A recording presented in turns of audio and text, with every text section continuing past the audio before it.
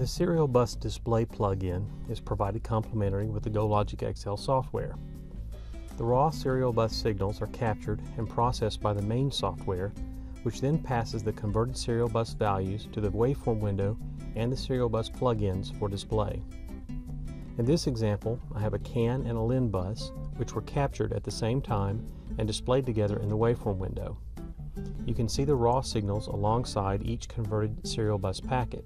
The serial bus display plugin, however, shows these bus values in a condensed text format which favors printing and exporting to a text file. You're really not interested in the low-level signals or their behavior when viewing the data with the serial bus display plugin. Let's bring up Plugin Manager here. And I've activated two copies of the serial bus display plugin. The first copy displays the LIN bus and the second copy displays the CAN bus. And when I click on the Done button, we can see both of these plugins. Here's the LIN serial bus display plugin, and here's the CAN. And these will all scroll together unless you set up the uh, plugin option so that they don't scroll together.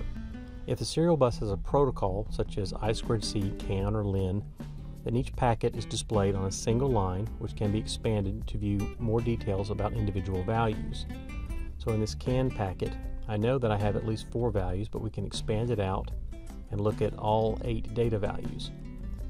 Now at the top of, and this is documented in the help file uh, in full details, but we can wrap the data values at a larger value. So now you see eight data values here in the data column. Now the window has gotten wider, of course, and most of this CAN data, for example, does not have more than eight uh, values in a packet. In fact, I didn't see any that didn't have more, more than that. But if I expand it out, you'll see that the data line now has eight data values wrapped onto one line. It had one of these packets had 16 or 32 values in the packet, then this would have been written on multiple lines at 8 bytes per line. The expand all and collapse all buttons at the top of the serial bus display window expands and collapses all packets in the captured da trace data. So I can go to the LIN plugin and expand all the lines and then I can collapse them all. If the serial bus has no protocol, such as a UART, SPI, or raw bit streams, the serial bus display plugin shows the converted values as columns. I'll open an SPI example project here.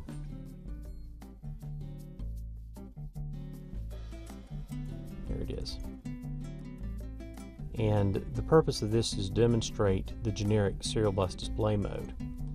And here we have the MOSI and the MISO. This is one bus uh, a UART or a bit stream would only have one column of data.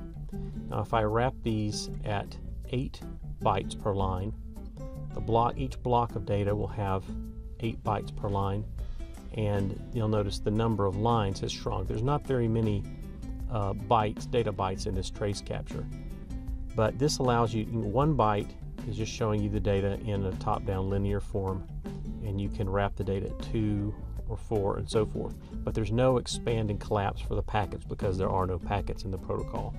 The next video describes how custom plugins can be created using the Plugin Development Kit.